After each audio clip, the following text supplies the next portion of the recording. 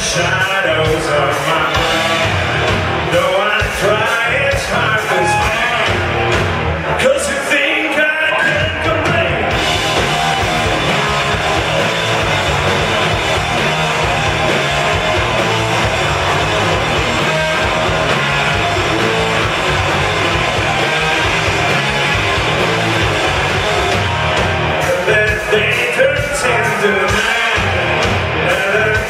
Day turns into night,